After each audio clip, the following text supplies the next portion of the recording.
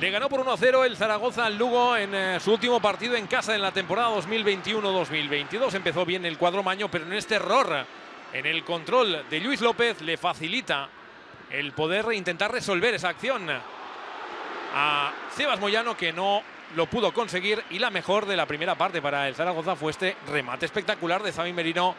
que se le marchó un poquito por encima del travisaño, mucho mejor en la segunda mitad del Zaragoza y en esta acción colectiva a punto estuvo de marcar un auténtico golazo. Sergio Bermejo, pero se encontró con la, la oposición del ex zaragocista Oscar Wally. En esta entrada muy dura por abajo, Xavi Torres vería la roja directa, no la vio de inicio Morena Aragón, pero le llamaron desde el bar para que se la revisase